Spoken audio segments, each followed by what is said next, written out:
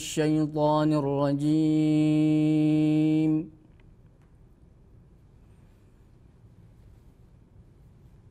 بسم الله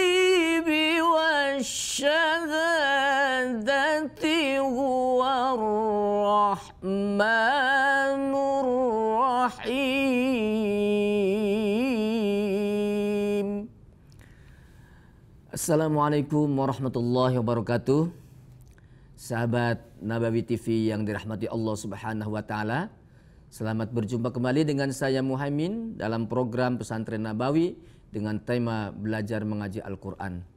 Mudah-mudahan kita pertemuan kita senantiasa mendapatkan ridho dan rahmat Allah Subhanahu wa taala dan membawakan kita kemaslahatan fid dunya wal akhirat kelak.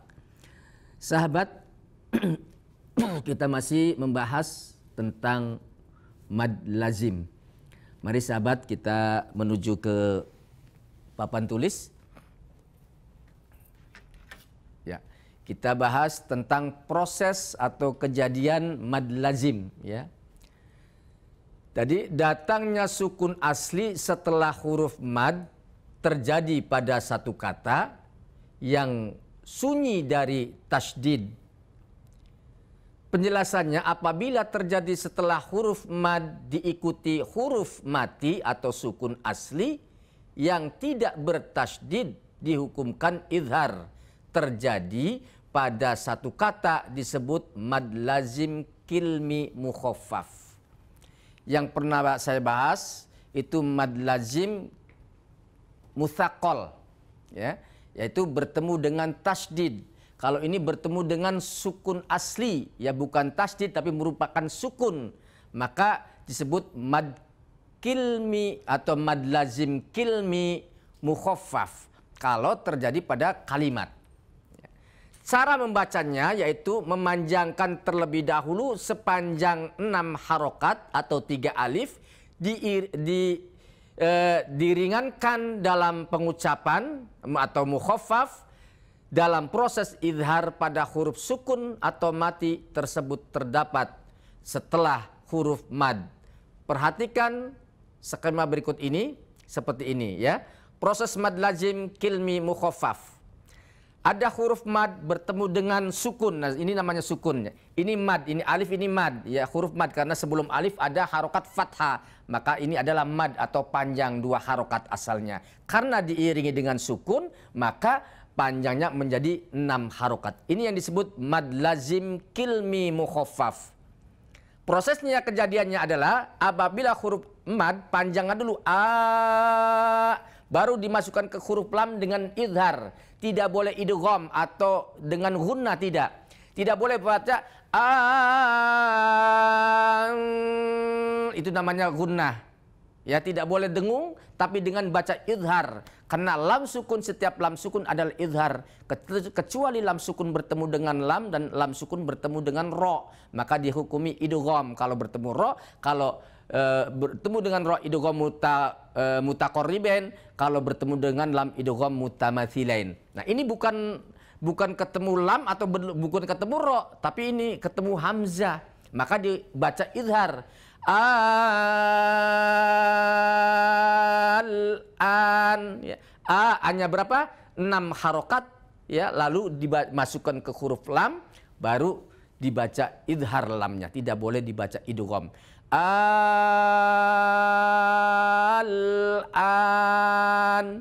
Al-an. Ya Hanya kalau berhenti ya boleh dua, boleh empat, boleh enam. Karena mad arid lis sukun. A berarti adalah huruf mad ditambah sukun yaitu lamnya. Ya. huruf mad bertemu dengan sukun asli, huruf mad sebagai syarat dan sukun asli sebagai sebab. Jadi harus ada syarat dan sebab di dalam eh, dalam hukum mad lazim ini. Ya bukan hanya mad lazim, idgham biguna ada syarat dan sebab. Semua hukum yang ada dalam Al-Qur'an ada syarat dan sebab. Seperti ini ya. Maka disebut mukhaffaf karena ringan diucapkan. Al an al ringan bukan alladzi itu berat namanya ya. Karena di yang bertemu adalah sukun maka e, dibaca dengan ringan disebut mukhaffaf. Disebut isba karena dibaca enam harokat. Kalau dua harokat, empat harokat bukan isba. Yang disebut isba itu semua setiap isba adalah enam harokat. Tidak boleh kurang. Itulah proses kejadian mad lazim mukhaffaf.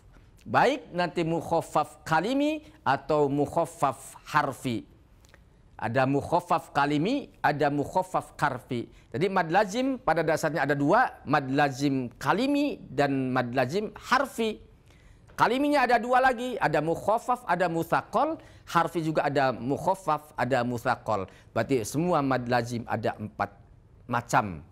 Nah inilah yang kedua adalah mad lazim kalimi, eh, mad lazim mukhaffaf ya. Mad lazim mukh, uh, kilmi mukhaffaf. Boleh dengan kata kilmi, boleh juga dengan kata kalimi. Boleh dengan harfi atau boleh juga dengan huruf. Ya, baik eh, sahabat Nabawi, itulah mad lazim kilmi mukhaffaf. Moga-moga penjelasan saya ini dapat dipahami tentunya dan sekaligus diamalkannya. Kita jangan ke mana-mana dulu, insya Allah kita setelah ini akan kembali Bila perlu dilem, ya. Channelnya dilem, jangan sampai dirubah-berubah. Terus panteng terus Nabawi TV. Insya Allah bermanfaat dan barokah dan insya Allah akan mendapatkan ridho Allah Subhanahu wa taala.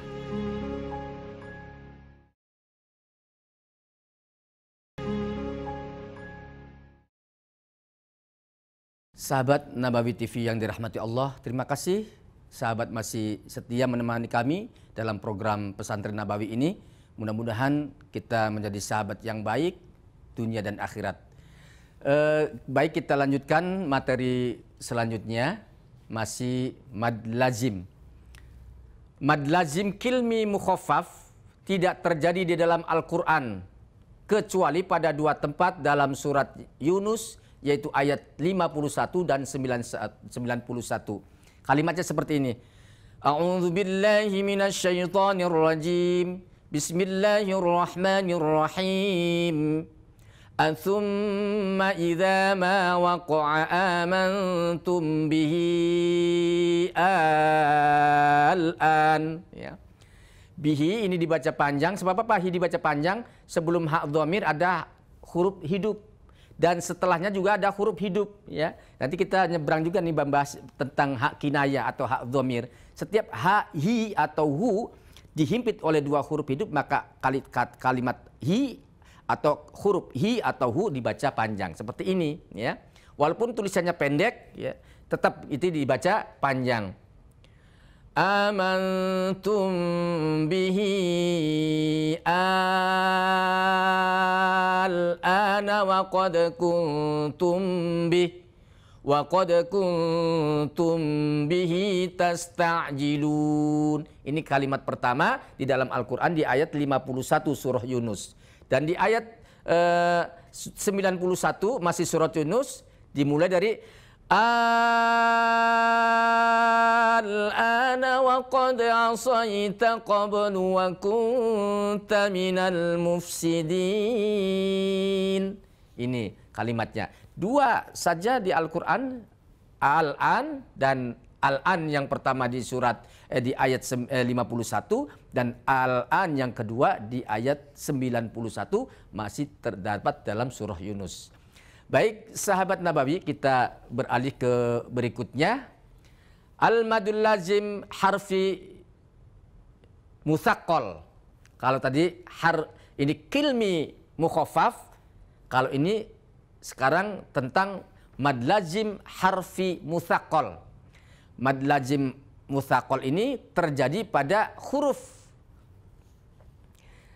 Mad menurut bahasa artinya memanjangkan, lazim artinya wajib atau pasti, harfi artinya terjadi pada huruf.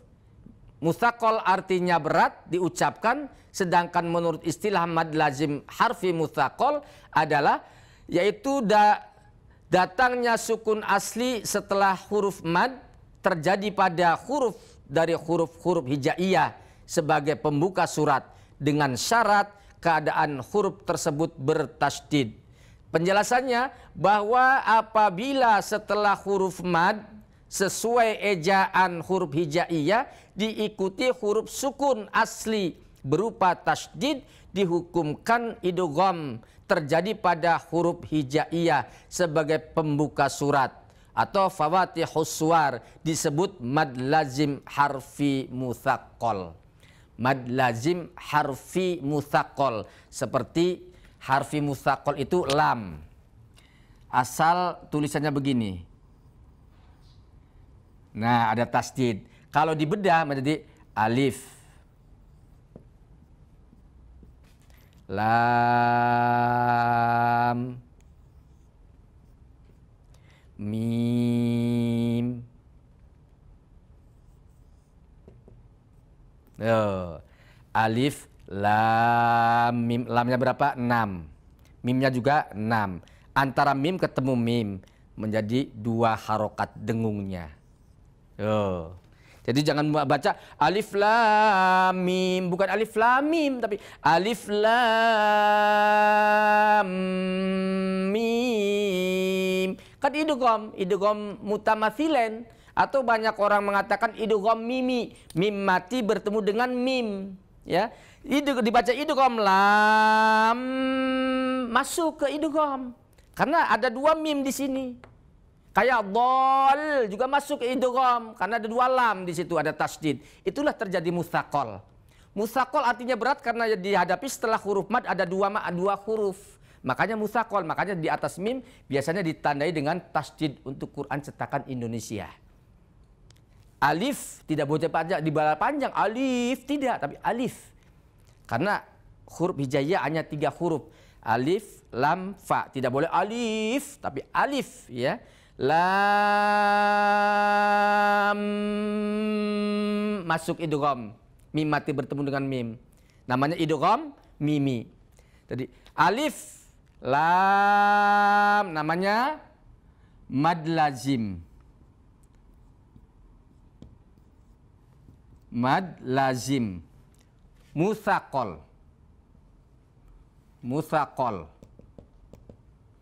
musakol harfi. Karena terjadi pada huruf. Lam mimnya antara ini namanya idgham. Mutamathilain atau mimi. Banyak orang bilang idgham mimi mim mati ketemu mim. Idgham mimi atau muta mutamathilen atau mutamathilain mutamathilain ya. Mim lagi mad lazim mukhaffaf. Karena yang dihadapi setelah huruf mad ada satu mim. Jadi mukhaffaf ringan. Ini disebut mukhaffaf. Mukhaffaf kalimi. Mad lazim mukhaffaf kalimi. Kalau ini mad lazim musaqal kalimi.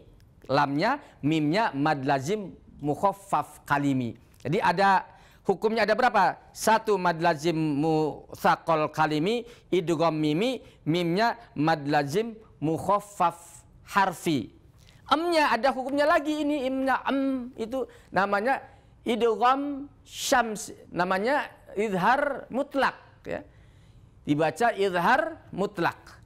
Mimnya emnya itu dibaca izhar mutlak, tidak boleh baca mim, tidak boleh. Harus mim. Alif lam mim. Sudah tidak boleh mm, sampai lama. Tidak boleh baca alif lam mim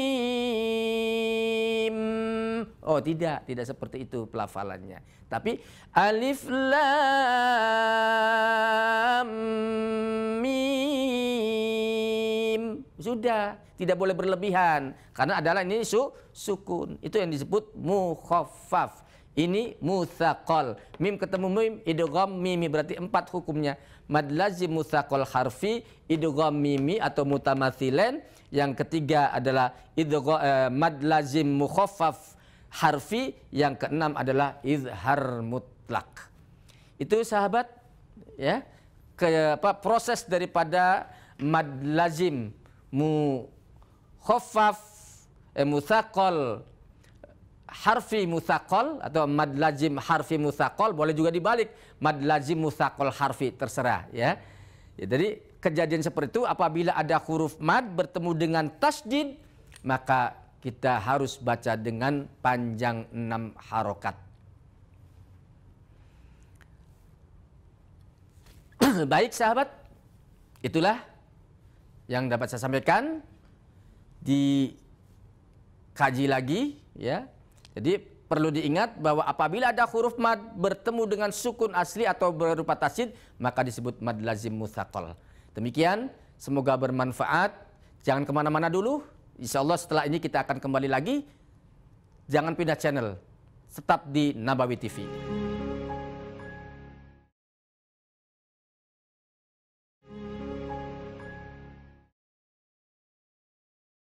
Sahabat Nabawi TV yang dirahmati Allah Subhanahu wa taala, terima kasih masih bersama saya Muhaimin dalam pesantren Nabawi dengan tema belajar mengaji Al-Qur'an. Kita akan bahas selanjutnya yaitu al-maddu lazimul harfiyul mukhaffaf. Artinya mad lazim harfi mukhaffaf. Yang sudah saya bahas adalah mad lazim harfi mutsaqqal dan sekarang adalah mad lazim harfi mukhaffaf. Mad menurut bahasa artinya memanjangkan, lazim artinya wajib atau pasti, harfi artinya terjadi pada huruf.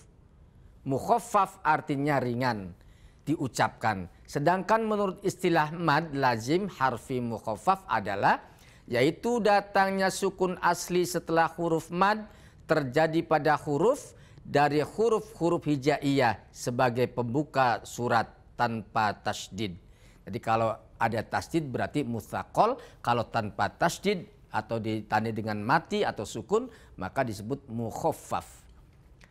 Penjelasan apabila setelah huruf mad sesuai ejaan huruf hijaiyah diikuti huruf sukun asli yang tidak bertasdid terjadi pada awal surah dengan huruf-huruf hijaiyah fawatihus suwar disebut mad lazim harfi mukhaffaf.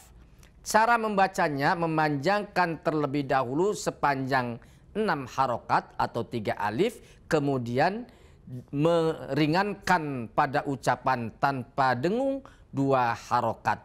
Jika terjadi hukum idhar seperti nanti kita jelaskan. Jadi apabila ada huruf ada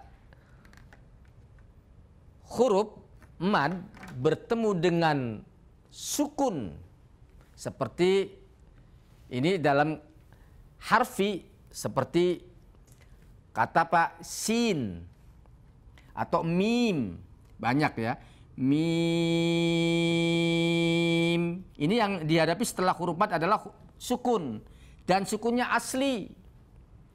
Mim sin. Nun. Apalagi kaf. Ya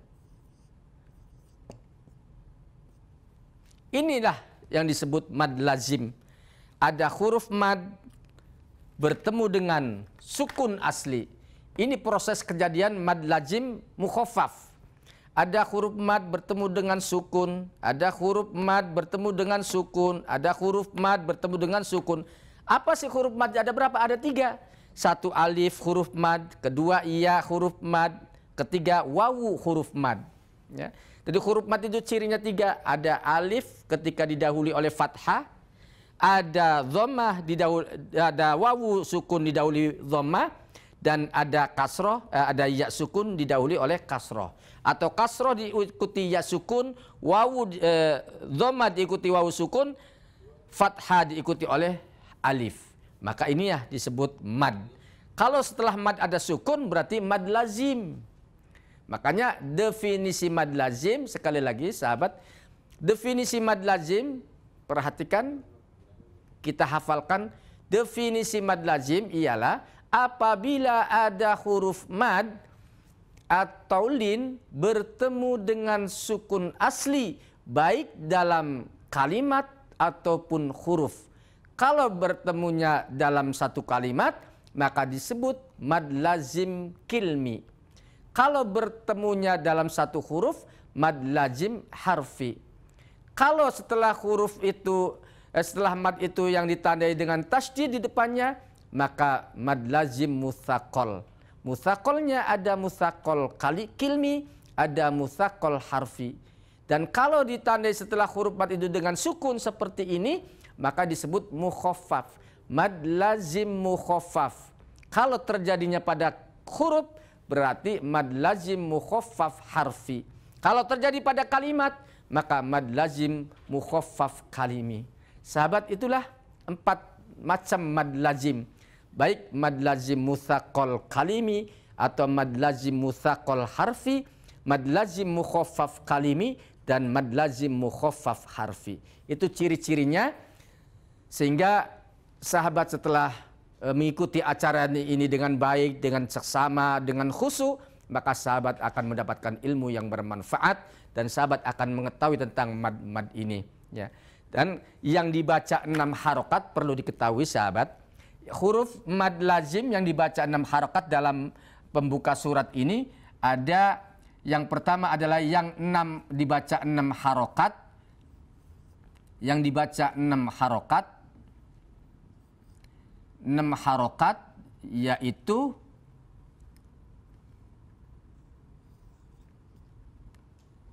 nun, qaf, Sod, Ain, Lam, Kaf, Mim. Tu dua, tiga, empat, lima, enam, tujuh. Nakoso, asa. Eh, sin dulu ya. Sin. Baru lam. Kaf. Mim. Nakoso asalukum satu, dua, tiga, empat, lima, enam, tujuh, delapan. Delapan huruf ini selalu dibaca enam harokat. Kalau yang dibaca dua harokat, yaitu hurufnya ada empat. Ha, ya, to, ha, ro. Satu, dua, tiga, empat, lima. Ada lima huruf. Jadi ha itu boleh panjang enam, tapi dua. Hamim, mimnya yang enam. Yasin, yanya yang dua. Toha Alif Lam Ro Ro-nya dua Tapi ingat ketika melafalkan huruf-huruf ini hilangkan ke, uh, apa huruf hamzanya. Jangan dibaca ha, mim, ya, sin, to, ha. Atau ha, ro. Itu tidak. Dihilangkan huruf hamzanya sehingga terjadi ro bukan ro. Ya. Dibaca ro bukan ro. Nah, itulah sahabat. Jadi berhati-hati ini yang dibaca enam harokat ada delapan huruf yang dibaca dua harokat ada lima huruf ini bukan mad lazim tapi mad tabi'i harfi kalau ini namanya mad lazim harfi itulah sahabat kita bahas tentang mad lazim sudah selesai sudah mudah-mudahan sahabat bisa uh, mengamalkan dan apa yang saya sampaikan tadi uh, bisa dicerna oleh sahabat sekalian sehingga mm, dapat diamalkan dalam kehidupan sehari-hari ketika kita membaca Al-Qur'anul Al Karim. Mohon maaf atas segala kekurangan. Saya Muhammad dalam Nabawi TV. Insya Allah akan kita berjumpa kembali dalam materi berikutnya. Semoga Allah Subhanahu wa taala senantiasa meridhoi dan merahmati kita sekalian sekaligus Al-Qur'an kelak akan memberi syafaat kepada kita. Mohon maaf ila liqa. Wassalamualaikum warahmatullahi wabarakatuh.